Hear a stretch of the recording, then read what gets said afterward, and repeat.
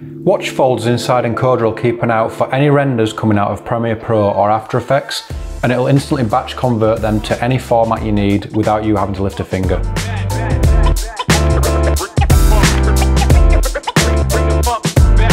Hi guys and welcome back to Editor's Life. Today we're looking at how to set up a watch folder inside Adobe Media Encoder.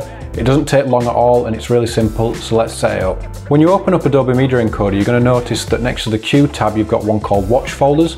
You want to press that and then click on the plus icon. This is where you create your watch folder, so just click New Folder, type in anything you want. I'm just going to type in Watch Folder, press Create, and it is on my desktop.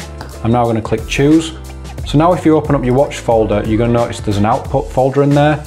Just leave that, that's totally normal, you're going to need that later on.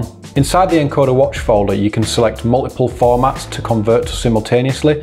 For example, our initial render is going to be a 4K QuickTime file.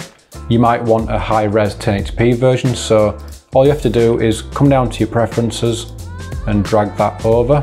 You might also be rendering to YouTube, so you might want to scroll down and select their 1080p preset and drag that underneath. If you're working, for example, on a large scale project and you've got a separate team reviewing the audio and you don't want them to see the video, you could come up to audio only and render an MP3 for them. The possibilities are, are, totally endless. You can do as many as you want, you can create as many as you want.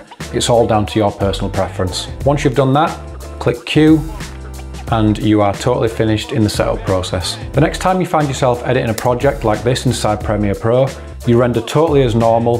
The only difference is you need to make sure that you're rendering to your watch folder. This is a 4K ProRes file that I'm rendering to start with. You want to come down to desktop, watch folder, stick it in the root, don't put it in the, uh, the output section and press save.